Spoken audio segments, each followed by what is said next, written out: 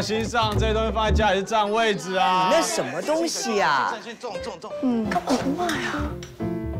干嘛不骂？除非拿东西来换，我跟你们换。可是我不想要吉他换木马，木马要换吉他。啊？台灯换台灯。是，我们家台灯有灯泡。如果香皂不好换，那我每一块香皂再附上一个故事。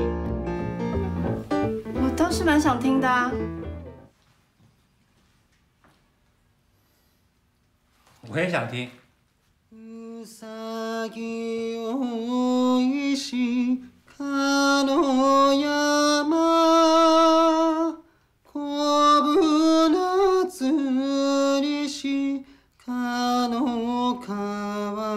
这些东西就是他看世界的窗口。他没有出过国，他选择跟别人交换东西，是为了知道更多不属于他的故事。你说的没错，跟别人换东西，听到了很多本来不属于自己的故事。